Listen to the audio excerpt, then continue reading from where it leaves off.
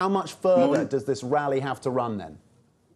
So if you look in, in terms of an, aggregated level on a broad index, I would expect still another 10% upside for commodities, mainly really driven by uh, the energy side and, and the, the materials. I think we do have three factors that do play for higher prices. Number one, the cycle. Look, we got all the PMI beats, and I think we continue to see very strong PMI readings. That's number one. Then we have for some of the sectors structural drivers.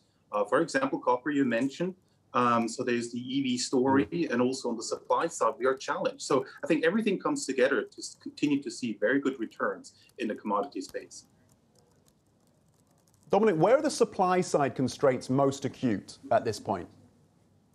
Well, I would say uh, clearly on the mining side, I mean, for the second half, everybody was looking for supply to gear up, but given distancing measures, uh, we have seen an increase in virus cases as well. Uh, I think the supply side is constrained. Um, I mean, we see that in the copper, for example. We're just looking at 2% supply growth this year, but also there are considerations, I would say, on the on the Ali side. Even though we haven't seen much of, I would say, challenges in the near term, there is more from an ESG perspective, and China focusing heavily curtail, I would say, incremental capacity addition. The market comes to the notion that hey, supply is not going to grow massively. And I think that supports the story. Last point to highlight there's not just COVID related challenges, but there's also voluntary uh, supply discipline from OPEC plus, and I think that remains in place, leading to a situation where the oil market, for example, is undersupplied in the first quarter by 1.5 million barrels. Uh, Dominic, I wanted to uh, look a little bit closer at the metals story, particularly if there's any specific risk you're, you're, you're looking at. And one that has been uh, come, come up in our conversations here these last couple of days is, is maybe that China might come in in some way to cap, because they have flagged, of course, a few weeks back that input prices are a little bit disruptive right now. What risks are you watching here as far as the rally is concerned, maybe short term?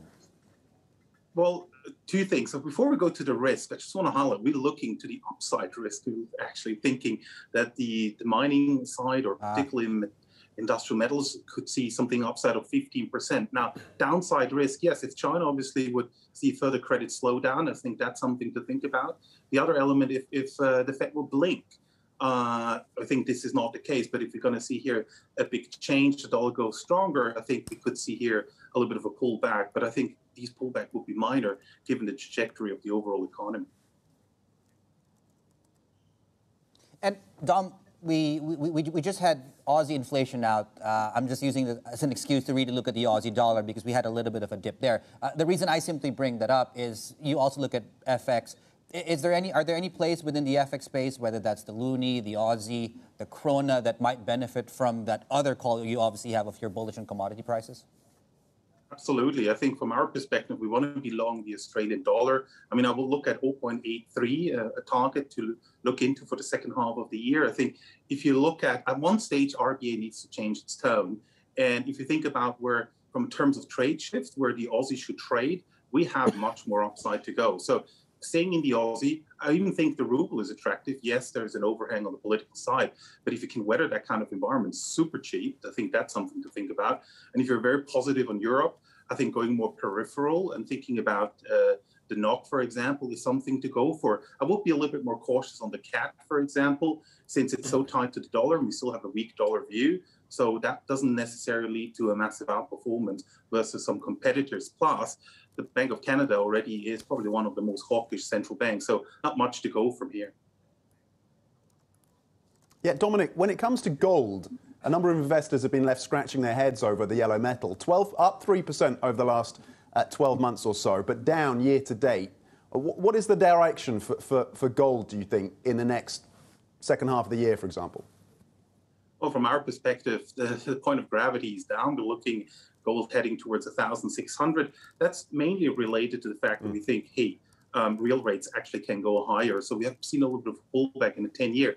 That's not going to last. If the numbers come in good across the globe, you would see the nominal going up and with break even already quite high. I think I would see a lot of transmission into real rates and investment demand simply not there. I know we have seen the outflows a little bit stabilizing, but I need inflows. If I don't get that one, it's very difficult for gold to hold levels close to 1,800. Uh, Dominic, best leading indicator for commodities, whether that's that's that's that's base metals, precious metals. What is it? Well, we do look on the more fundamental side. We look at the ISM, we look at the PMIs. I wouldn't say leading, but I think they coincident indicators. Mm. I think the equity gives you normally a little bit more forward-looking guidance, since here people look more on terms of expectations. Commodities still live a lot from the now. What is actual demand doing? So, looking at two things: what is the equity market doing? Number one. Number two, what are basically the cyclical story? That is, I think, one of the key drivers you need to think about.